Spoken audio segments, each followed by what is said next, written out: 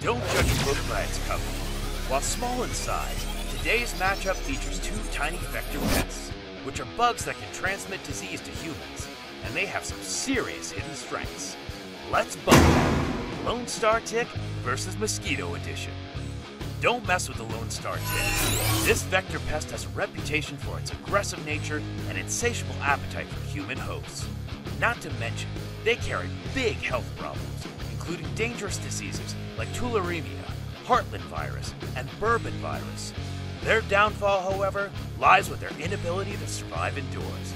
In the other corner, we have the mosquito, known for their annoying, itchy bites. Steer clear if you can. These tiny pests can be vectors for diseases such as West Nile virus, Eastern equine encephalitis, and dengue fever. Despite their ability to fly under the radar, biting mosquitoes heavily rely on certain signals to spot a host. Think carbon dioxide, heat, and body odor. Watch out!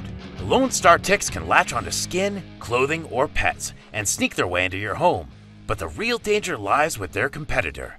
As the deadliest animal in the world, the mosquito clearly dominates this matchup, crowning them as today's Bug Battles champion. Remember, vector pests are no joke. Find a pest pro near you. Visit pestworld.org.